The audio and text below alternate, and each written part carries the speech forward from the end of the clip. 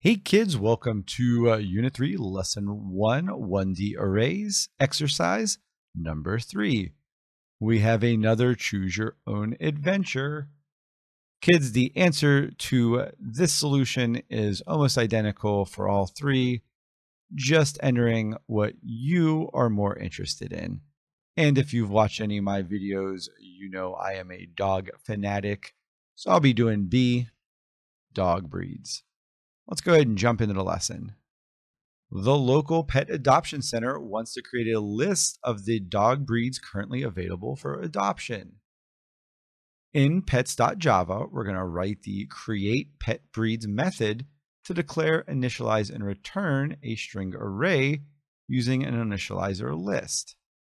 The array should contain the following values. Alaskan Husky, Beagle, Dalmatian, German Shepherd, Great Dane, Lhasa Apso, Pug, and Whippet. Never heard of that one. We're going to write the get number breeds method return the length of the pet breeds array.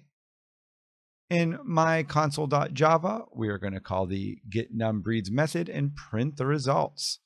Curious about the data set? You can learn more about the breeds and stuff here. And again, kids, I recommend you take a look at this. Anytime they give you data, it helps you understand where it comes from. let's go ahead and get started. We need to be over in the pets class. We have a private string pet breeds, and this looks like it is creating an array. And remember, when we see those square braces, that's what it is. We have our default constructor here, and it is calling create pet breeds is equal to pet breeds.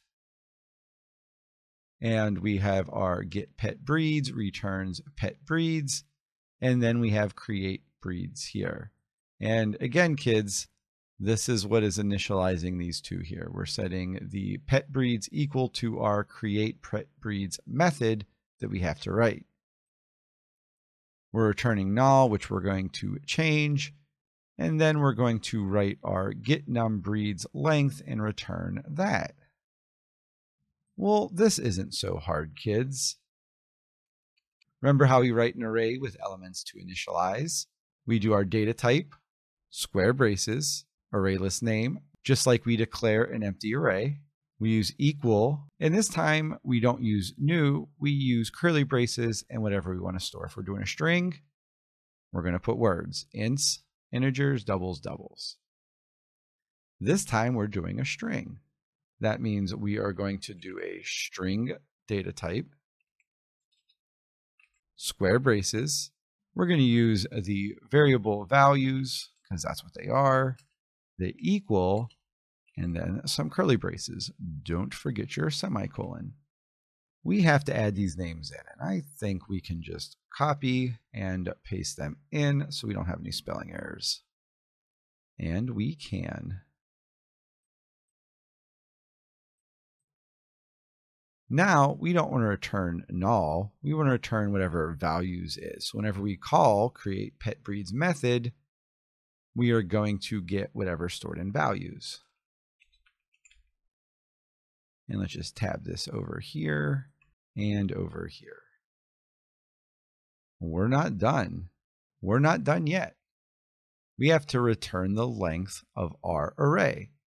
And remember, kids, our array here is under create pet breeds. We set create pet breeds equal to pet breeds, and pet breeds is our private instance variable. That means we really want to call the instance variables length and that is pet breeds. And we're doing the dot, and we learned last time the modifier dot length will return the length of the array list. Well, that is it. We go back to my console. Now we have to call get num breeds and print it off.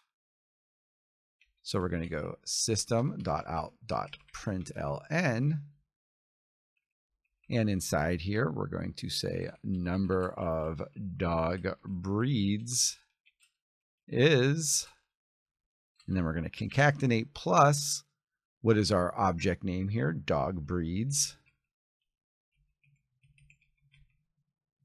And what method are we calling? Get num breeds. Don't forget your parentheses. Well, that should be it. Now, when I hit run, I should get the number of dog breeds, and we should get one, two, three, four, five, six, seven, eight printed off down here. Well, let's see if I'm right, kids. And there we go, kids. We got eight printed off. Looks like it worked exactly like we thought.